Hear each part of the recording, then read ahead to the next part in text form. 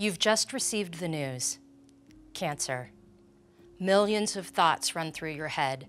Your emotions bounce around like a roller coaster. Fear, uncertainty. You might even feel numb. It's okay to let the emotions come. Give it time. But after the dust settles, what's next? Hi, I'm Jena Cooreman, licensed clinical social worker with the Supportive Oncology and Survivorship Department of the UC Davis Comprehensive Cancer Center. There are things you can do to help smooth the road ahead. Rally the troops. Identify people you can trust and rely on, family members, friends, neighbors, or others in your life. Your go-to people can support you join you at medical appointments, and be there when you need to talk. You might need help with day-to-day -day stuff, like housework, cooking, or childcare. Think about who you can turn to and practice saying yes to offers of help. Get organized. You'll get a lot of information from your doctors. It can feel overwhelming. Finding a way to keep track of things can help you feel more in control. Keep appointments, phone numbers, or other information all in one place, like a notebook or on your phone. Write down your questions and take them to your appointments. This can help you gather your thoughts and get the information you need.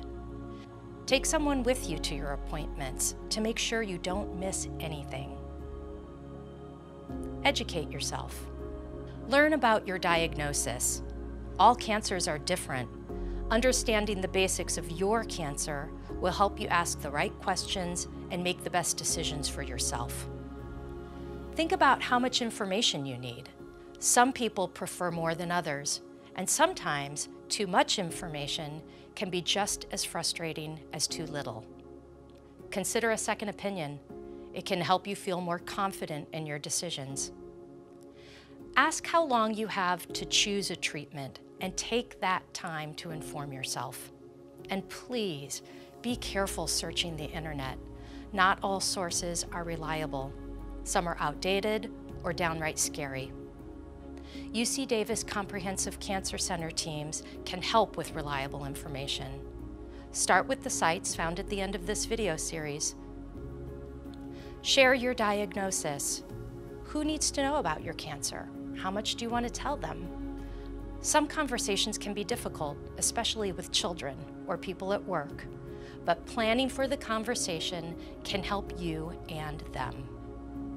People are different in how much they want to share. Think about what feels best for you. Family and friends might try to help, comparing your situations to ones they've lived through or heard about. People mean well, but this is often not very helpful. Try saying, Thank you for caring. I'm working with my doctor to make the best decisions for me. Talk to a social worker at your cancer center. They can help you and your loved ones adjust to life with cancer. You can also watch the video in this series about how to talk to kids. Take care of yourself. There are many things about cancer that you can't control, but you can decide how you care for yourself. Self-care is one way to get back in the driver's seat. Get plenty of rest. It's so important for your body and mind. Take time for physical activity. Ask your doctor what is safe for you. Make time for things you enjoy. It doesn't have to be complicated. Even a simple cup of tea, a short walk, or listening to music can make a difference. Protect your time. That might mean saying no when you're feeling overloaded. Eat healthy foods. Cancer Center dietitians can offer help. Find emotional support. Consider a peer navigator, a support group, or individual counseling. Talk to your social worker to find out what services would be most helpful. And most of all, be kind to yourself. There's no one right way to do this. Figure out what works for you. Cancer is stressful. It's a roller coaster but you don't have to ride it alone. We can help you smooth out the ride.